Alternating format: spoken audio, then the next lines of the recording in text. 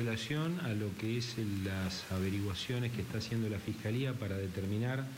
las causas del deceso de Natalia Jaid, mantiene el mismo estatus, esto es de testigo, de haber presenciado en el establecimiento de su propiedad eh, las circunstancias en las cuales termina falleciendo la señora Jaid. Eh, por lo que nosotros, la condición, sí, por lo la de testigo. Eh, tenemos entendido y, por lo menos se, ha ido recopilando, más allá de lo que trascendió periodísticamente y nosotros estamos este, también eh, viendo lo que surge el expediente, Rigoni tendría como alguna participación mm, bastante más protagónica que la de muchos otros. Él estuvo, habría sido el que estuvo con Natacha Haidt en el primer piso, después bajó, después volvió a subir corriendo, también él llamó al servicio de emergencia, es decir que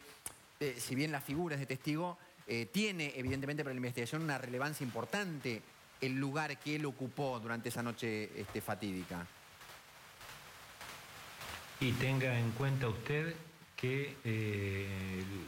cuando arranca la investigación y concurre el fiscal al lugar, en la madrugada en que se produjeron los hechos, dispuso eh, que todos los que estaban, al menos los dos que estaban ahí, sean apartados y se mantengan en estado de incomunicación entre ellos para preservar eh, la calidad del testimonio de cada uno. O sea, eh, recorrió un camino. Primero eran todos sospechosos de la muerte, hasta que se obtienen los resultados de la operación autopsia, que dos de los fiscales del equipo de tres que había estuvieron presentes durante la pericia médica en ese contexto y ya concluida la, pericia, avanzada las pruebas y fundamentalmente luego de hablar con los médicos forenses y de informarse acabadamente, los fiscales a eso de las 6 de la tarde de ese día recién ahí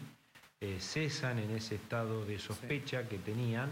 y pasan a tomar la declaración testimonial. Desde ese momento hasta hoy el estatus no se ha modificado, el estatus de inocencia y de ajenidad, dada la condición de testigo, nunca se ha modificado, si bien efectivamente, como usted señala, eh, ha tenido un protagonismo este, muy importante en los eventos que terminaron con el fallecimiento.